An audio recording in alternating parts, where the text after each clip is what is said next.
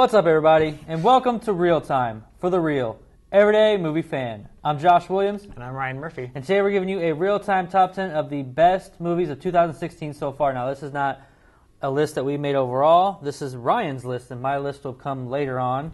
We have seen some different films. We this have. year. I've seen some films he hasn't. I've seen two films I think you haven't seen. You've seen several films I haven't seen. Yeah. Uh, you've seen more of the uh, independent films, like I love my know- independent films. Yeah. They're a special place in my heart. I've pretty the much seen all the big summer movies, plus a couple that you kind of sent me out to see. Uh, I forced you to see. Let's Yeah. put it that- All right, let's, so let's get right into it. What are your honorable mentions? my honorable mentions. Well, uh, the only three films I've only seen 13 films this year, so my honorable mentions would be three of them. They're not really honorable mentions. They're, my They're kinda dishonorable, dishonorable mentions, mentions, almost, in a sense. Batman versus Superman: Dawn of Justice, Independence Day: Resurgence, and Teenage Mutant Ninja Turtles: Out of the Shadows. Okay, I kind of had fun with that one, though. that, these were all pretty, pretty, three pretty bad movies. Uh, so But you're still their honorable mentions, so, you know, hey. dishonorable what can you- mentions. I, I even wrote that on the thing. Oh, so. yeah, you did. That's right. Huh. All right, so let's get right into your top 10 list. What do you got for number 10? Number 10, I have X Men Apocalypse. All this right. movie was just not up to spec. This, I mean, it, it just was not. Uh, this movie did not have a very clear direction forward to go. It was just uh, kind of a mess, and the villain was just not very. didn't do a whole lot. He just kind of blew smoke up his own butt for most of the movie. It wasn't the apocalypse we knew from the comics. It was just. It was a complete jumble of X Men characters, and it, the, the plot was a complete jumble. It went from one place to the other without having really a clear uh, line of let's do this that because it's moving us toward our end game and it was just sort of all over the place and it wasn't didn't end up being a very satisfying movie at all But it's mainly on your list because you're, like I said, you've had a very small, finite. it's maybe on my list because i have a very and and that's what you'll kind of notice is that uh, pretty much Up until you get to about. up until i get to like the second half i'm gonna yeah. so, but, I mean, you like. You disliked it more than I did. I Yeah, actually liked it a little bit more, so. even though it didn't even make my honorable mentions list or my top 10 Mm-hmm. I mean, you pretty much didn't like the movie. It's kind of funny that it's on your top ten best rest of the year so far. But So. all right, what's your number nine? Number nine is Warcraft, another movie that wasn't the best. Uh, and this movie just it tried a lot harder. It, it definitely Mm-hmm. really had some did. sincerity to it, but it was just kind of, again, kind of clumsily handled. The character's Mm-hmm. speech wasn't really the way people talk, and it was just sort of frustrating. And the acting was often wooden. Um, it did try real hard for some for to go for some serious stuff and go for go for the heart in a lot of places, and that and that that counts. You know, effort counts in that in that regard. And there was some impressive visual effects and stuff. Overall, though, just uh, I mean, it treated it, it treated the audience like they were all Warcraft fans, like assuming we kind yeah. of knew stuff, and uh, it's just kind of a weird movie overall. Actually, I think that was its biggest problem. I mean, if it would have maybe gone the route of trying to appeal, not necessarily appeal to everyday moviegoing fan, Mm-hmm. but just try their hardest to give actual explanations of things, not just throw it in our faces like we should know it. It may have been better, but Mm-hmm. Absolutely. who knows? All right, you're number eight. Number eight, Alice Through the Looking Glass. I, did, I was not as hard on this as the critics this actually were. that could have been a little. Well, I'm surprised it wasn't a little bit higher. Movie- I don't like that movie. Uh, Say what? I don't like- I didn't like Oh, Alice that's right. You saw that too. Yeah. I Um, didn't like yeah. it that it was. It was not. It was not very good, but it was.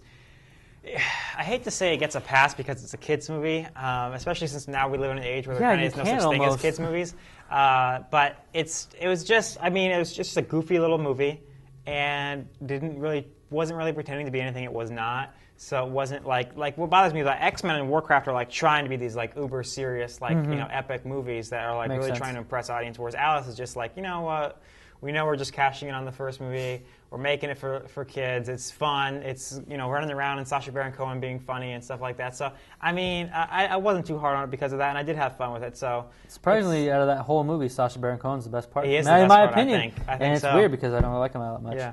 All right, number seven. number seven is Free State of Jones. This is I still want to see it. yeah, it's it's our first like like kind of serious movie on this list. You know, like. Uh, Something going for critical acclaim. Now, like I mentioned, it does have its flaws. It's really, not, it's just, again, it's just an unfocused script. And in this case, what I mean by unfocused is that it's just, it doesn't, I couldn't tell you what it was about. I couldn't sum up the plot. If you watch the trailers, the trailers don't really do it justice. There's a lot more going on in the movie than in the trailers. It kind of goes way past that in time than what you see in there. Uh, and I mean, other than just being about this really cool guy who did some really cool stuff for, you know, black people during and after the Civil War, I mean, it doesn't really have a clear, uh, a clear, uh, a clear enough plot line really to even. To, but I mean, there are some good moments in it. There's definitely some good moments, some heartbreaking moments, some you know, tender moments, and, and, and, and I appreciated the effort. Like I said, kind of like with Warcraft, I just really appreciated the effort. Do you think Matthew McConaughey even has a shot at an Oscar? Not nod? an Oscar not nomination, An Oscar not this Okay. year. It's it's coming out in the summer. It's not a very acclaimed film, so I don't Yeah. think he's gonna. All right, you're number six. Number six is Money Monster. And this movie was actually a lot of fun when I when when I was watching it. Uh, it's it's just a, a it, it, it wraps it pulls you in and it, you go along on this on this ride with these guys and it's not too long of a movie. It's actually only like an hour and 45 minutes or something. But uh, George Clooney, of course, is very. I couldn't picture anyone else but him doing this role. It was Really? just like yeah, it was just like perfect for him. Uh, and uh, the the new guy, I forget his name because he's just like brand new. But the guy who plays the hostage taker is really good in it. And it was just a, it was it was funny at times. It, it was really good, but it's it's lo- it's it's lower on the list because when it got over, it was just like. Okay, what was the point? Like, what's really changed here? What it, it, it's, it seems to think its own plot is more complicated than it really is. Like, you know exactly what's going to happen 10 minutes into the movie, but it just sort of like, you know, like the, the poster for the movie says, not every conspiracy is a theory. And it's like, oh, it's going to be some conspiracy movie where you find there's complicated loops. No, it's really not. It's, it's a really simple movie.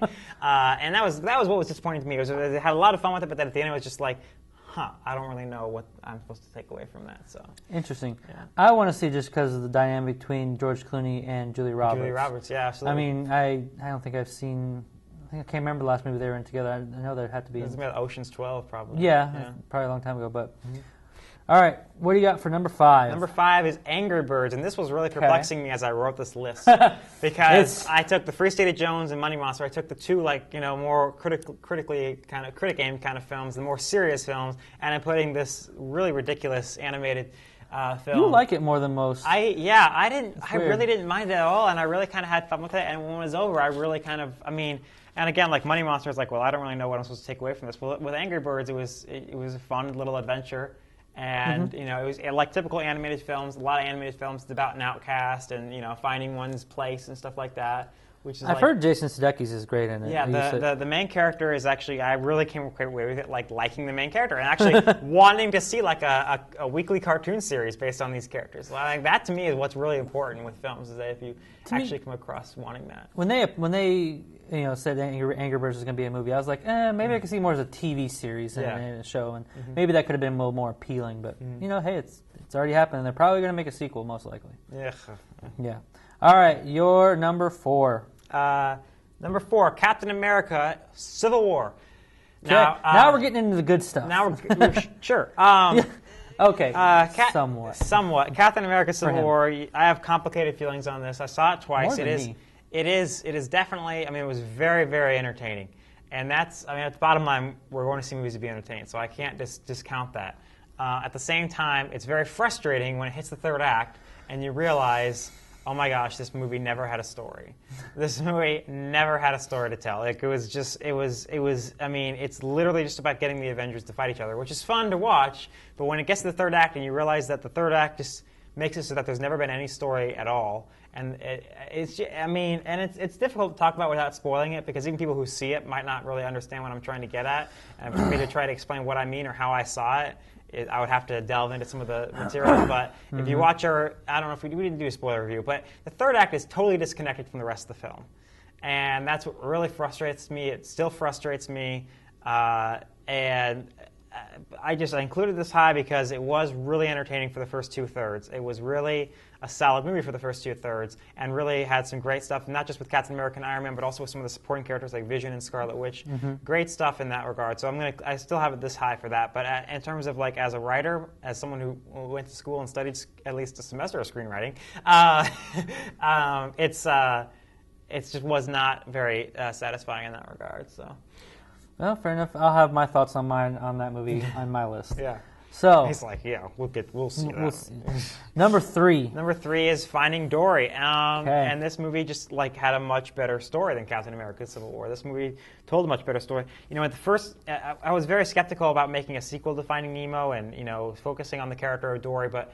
Um, this movie really takes what was a supporting character in the first film and makes you really appreciate her as a character. I mean, the whole movie is kind of like Dory, like what's the word I'm looking for? But it's, it, I mean, it really is like Dory praising. Like it's like, oh, uh, Dory, you can do anything, and you mm-hmm. know, it's like let's make everyone love Dory, and they kind of succeed at that, you know. And it's and it's Yeah. really kind of a touching and, and good story. There's that one part that really still bugs me. That's the only reason it's not really higher. Is the is a, there's a scene with the octopus that you and I Oh, talked about. yeah. It's just it's really stretching disbelief. Yep, it really I mean, is. He camouflages a lot, and I'm okay with that. But there's one scene in particular where he like just and no one sees him, Mm-hmm. and it's just like I just can't. I mean, it like almost ruins the whole movie for me. Like it honestly does. Like it's just that dumb. Like, and we're talking about a movie where fish talk.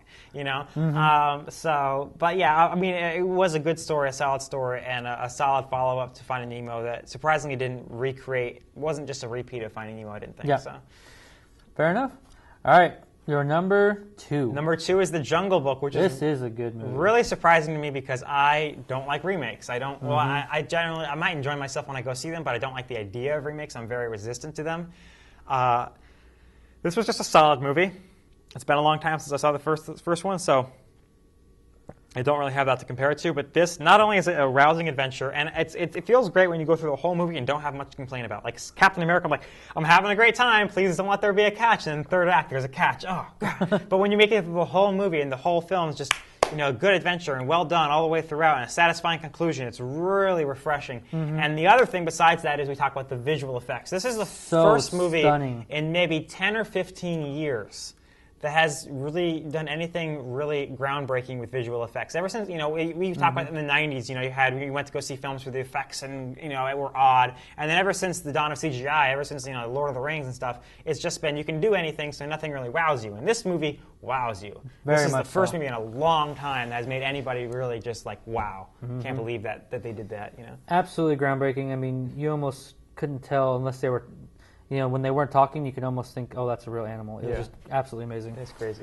All right, so this is the number one movie that Ryan considers to be the best movie of 2016 so far. My number one pick for 2000, first half of 2016, not counting movies I haven't seen yet that have come Yes, out that I watched exactly. on the video, That's the caveat there. is 10 Cloverfield Lane. That is a I- good choice. I was so impressed with this movie. This is, I mean, it's it's so good at what it does. Oh, yeah. It's a tense movie. It's it's sort of a psychological thriller. It really you don't know what way it's headed. I mean, you don't. I mean, it, it introduces certain things and then it goes it goes back on that idea, and you don't know what certain people's motivations are. And when it all comes through, and you and you really start thinking about it as you're driving home from the movie.